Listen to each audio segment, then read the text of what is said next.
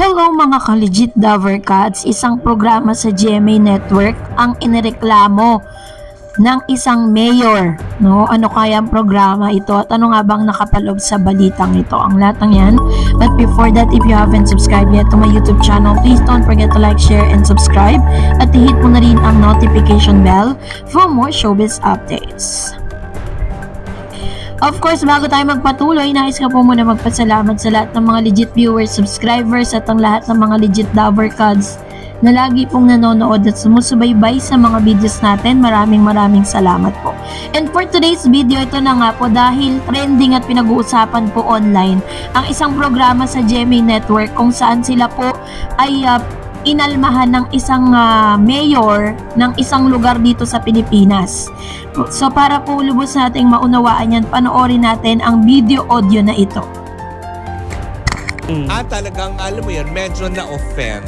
Oh, bakit? Ano Dahil nga dito sa teleserye ng GMA7 na abot kamay na pangarap ah, Oh. na kung saan nga naman nag star itong si Jillian Ward Mm. at ah, si Carmina Villaruel. Oh. Di ba?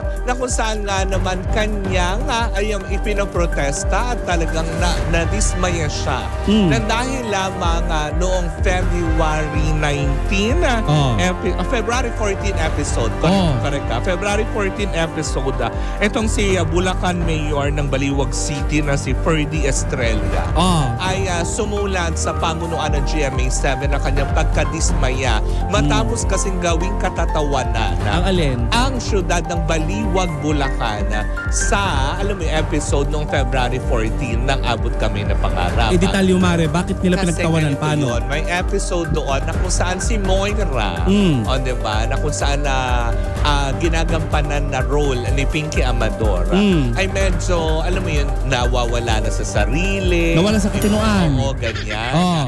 Tapos habang ah, may, may, may segment doon or meron dong eksena na kung saan nga naman kasama ni Jackie Lu Blanco Mm. ang ilan sa kanilang mga inmates at sa kanyang binanggit, nako, mukhang papunta na siya sa Baliwag, Bulacan. Ay. So ibig sabihin, parang na-offend ang naturang mayor ah, sa eksena at sa linyahan ni Miss Jackie Blanco na Oh. ginamit dito sa teleserye ito na parang mga pinatutungkolan niya na kapag ikaw ay nawawala sa katinuan, ah, Oh. ay papunta ka sa kanilang lalawigan at syudad. Oh. Diba? Kaya Mm. na-offend talaga at talagang gumawa ng official statement kaagad. Mm. Itong si Mayor um, Estrella Mm. ng Baliwag, Bulacan, Ferdy Estrella. Na. At sinulatan niya kaagad ang pamunuan ng GMA7 na kanyang pagkadismaya. Oh. Dahil nga parang tipong anong tingin mo sa syudad ko, baliwang mga tao. Oh. Bakit kailangan gano'n, no, diba? Although sabihin na nga natin na ang Baliwag, ah, Baliwag Bulacan ay isang syudad nga Yes. naman, ah, la- lugar, Mm. 'di ba? Na buo-buo sa lalawigan ng Bulacan. Oo. 'Di ba? Na kung saan nga naman sinasabi nila kasi yung Baliwag Bulacan na yan ay ginagamit lang parang colloquial words Yes. ng mga kabadingan. Yes. Kapag kami pinat pinatutungkulan ka sa mga, alam mo yun, Ano ba ba yung mga salitang Baliw-baliwan, ano sa baliw? ganyan. Ah, baliwag, Oo, ah, ganyan. laling, Oo, nene. ganyan. kreng-kreng, gano'n.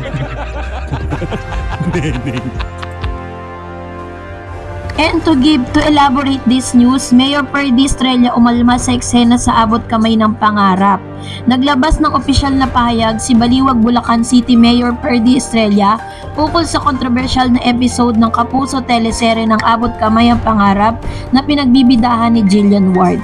Sa kanyang Facebook page ay pinahatid Ipinabatid niya sa publiko na hindi niya nagustuhan ang paggamit ng kanilang lugar bilang pagtawag sa taong nasisiraan na ng bait. Saad ni Mayor Mayor Estrella sa episode ng Abot Kamay ang Pangarap na Jamie 7 na pinalabas noong Feb 14, 2024 ay nabanggit ang pangalan ng lungsod ng Baliwag kung saan ito ay ginamit bilang bahagi ng dialogo ng isa sa mga karakter. Sa naging dialogo ay ginawang katatawanan ang Baliwag Bulacan. Ito ay nakakalungkot dahil nagpamalas ito ng kakapusan sa kaalaman at kawalan ng sensibilidad ng mga mahalagang issue. Anya, ang baliwag ay isang lungsod na lunduyan ng kasaysayan at hitik sa kultura at tradisyon. Pagpapatuloy pa ni Mayor Estrella, marami ang itinuturing na pinagmulan ng pangalan ng baliwag ngunit hindi isa rito ang salitang baliw. Ang baliwag ay isang matandang salitang Tagalog na ang ibig sabihin ay malalim or deep profound sa Ingles, hondo profondo sa Kastila. Ito ay nailathala noong ah, 1800 bilang isang salita sa bokabularyo lengua Tagala. At makikita sa pahina sa ikapat tatlong 33 ng diksyonaryo. Ito rin ay matatagpuan sa pahina 115 ng diksyonaryong Tesauro ni Jose Villa Panganiban, Villa Corte 2001. Paalala pa ng alkalde, isipin raw sanang mabuti bago gamitin ang pangalan ng lugar at isaalang-alang ang kasaysayan para mailapat ang konteksto ng isang palabas. Isa pang punto sa usaping ito ay pag-insulto at gawing katatawanan ang kalagayan ng isang baliw. Ang lungsod ng Baliwag ay isa sa mga nagtataguyod ng advokasya sa mental health kaya naman hindi rin kami sumasang-ayon sa pagpapalabas ng nakakasirang tema lalo pat kinakabit ang Baliwag bilang punchline o bagong katawagan para mapanghiya ng sinuman, sabi ni Mayor Estrella. Kaya naman kinundina ng alkalde ang irresponsableng pagsusulat ng script at ang pagpapalabas po nito sa publiko. Sa ngayon ay wala pa pong pahayag o tugon ang production ng Abot ng Kamay ang pangarap pati na rin ang Gemini Network ukol sa isyong ito. So dahil po dito ay nagsanga-sanga nga po itong problema na ito dahil ah, marami na rin po at pinag-uusapan po ito ngayon sa Twitter lalong-lalo na po ng mga taga Baliwag Bulacan. So medyo umalma nga dito si Mayor Perdi Estrella dahil katulad po ng napanood nating audio video kanina sa isang eksena po ng Abot Kamay ang pangarap ay tila baga hindi naging sensitive ang writers ng nasabing ah, ng nasabing teleserye. Kaya naman kinall out po nila ang MTRCB with regards to this. So, inaantay lang po natin kung ano po ang magiging desisyon ng MTRCB patungkol sa bagay na ito.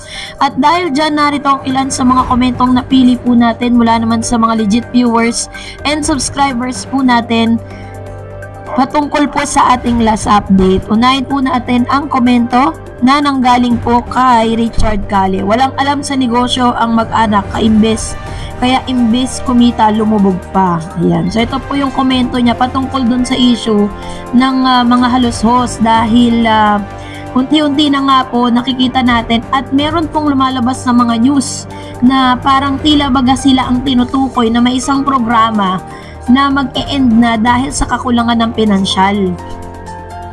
Pero kahit po nagsisirculate tong news na ito, ay nananatili pa rin tahimik ang halos ho siblings. Kasi kung totoong or kung hindi man totoo ito, pwede nilang i-deny. 'Di ba? Pero wala po silang sinasabi. Sabi ni Boy Faisal, yung mga executive ng Tape Inc. nagsisialisa na dapat ang mga solid tape incorporated defenders ng mga vloggers ang pumalit. Ex-best feel baka makaahon pa. So ito po yung kanyang komento dito ano dahil itong si Best Feel kasi so talaga yung kala mo siya yung may-ari ng ano eh ng tape eh.